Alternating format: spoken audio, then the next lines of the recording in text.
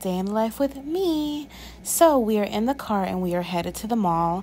I wanted to make a stop at Victoria's Secrets because we wanted to get our aunt something as a thank you for her allowing us to take over her space while we were here in New York.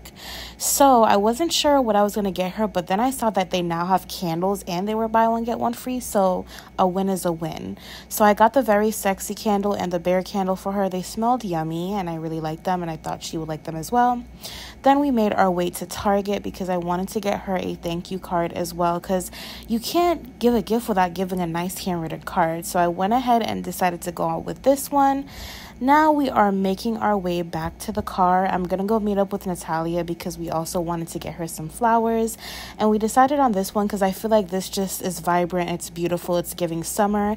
And I feel like it's another great way to say thank you, especially with all the colors. And now we are at the airport, hoping and thinking that we're gonna get back to go back home to Florida and we stopped at the gift shop to get some souvenirs to bring back.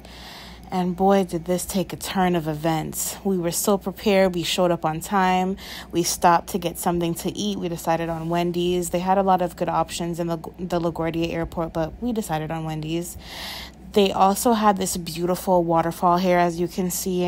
Um, it gave this like really nice water show, and it had the lights and everything there. So we were pretty entertained while we waited to quote unquote board our flight. And then things took a turn.